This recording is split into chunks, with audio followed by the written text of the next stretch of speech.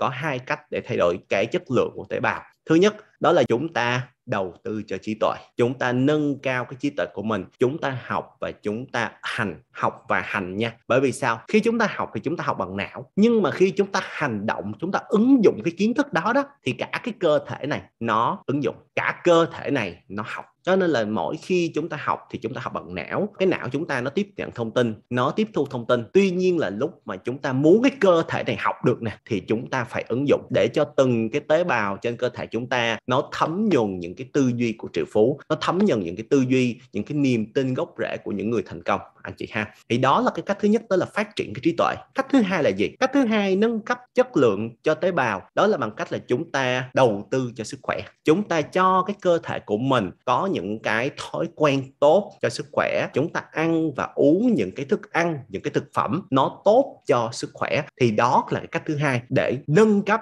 cái chất lượng tế bào của mình. Và bao nhiêu số anh chị đồng ý Huy là khi mà chúng ta khỏe mạnh á, thì chúng ta làm việc hiệu quả hơn rất nhiều lần so với trong những cái lúc mà chúng ta không khỏe bao nhiêu số anh chị ở đây đã từng ở trong cái trạng thái không khỏe rồi? Lúc mà mình không khỏe đó, mình có muốn làm việc không? Mình có muốn chơi không? Gọi là chơi cũng không được, làm cũng không được, ăn cũng không ngon, ngủ cũng không yên luôn và ngay cả những cái lúc đó chúng ta rất muốn làm việc, chúng ta cũng không làm việc được hiệu quả như cái lúc mà chúng ta ở trạng thái năng lượng đỉnh cao. Vậy thì chúng ta hiểu được một điều là gì đầu tư cho sức khỏe là cái cách mà nâng cấp, gia tăng chất lượng của tế bào. Là chúng ta cho cái cơ thể này, yêu cơ thể mình bằng cách là gì? Anh chị hãy nhớ nha, chúng ta phải yêu thương một cách đúng cách chúng ta yêu cơ thể của mình. Có nghĩa là sao? Có nghĩa là mình chỉ cho cơ thể này những cái thức ăn tốt nhất, những cái thức ăn nào mà nó tốt cho cái tế bào của mình đó. Những cái thức ăn nó tốt tốt cho tim nè, cái thức ăn nó tốt cho phổi nè, những cái thức ăn nó tốt cho gan nè, những cái thức ăn nó tốt cho máu huyết nè, những cái thức ăn nó tốt cho những cái tế bào bên trong này, thì đó mới thực sự là yêu thương cơ thể của mình. Còn những thức ăn mà chúng ta ăn vào, chúng ta thấy ngon cái miệng, nhưng mà cái thân của chúng ta, cái người của chúng ta nó không khỏe thì